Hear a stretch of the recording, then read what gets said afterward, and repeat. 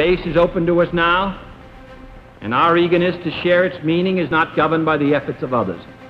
We go into space because whatever mankind must undertake, free men must fully share.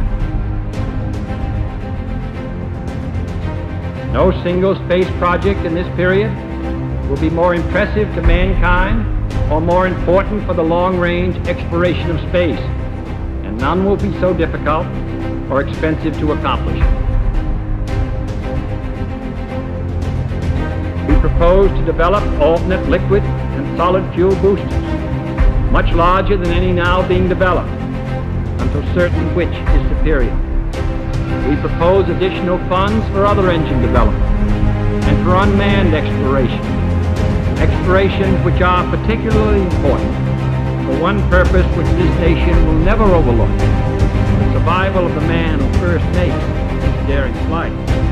But in a very real sense,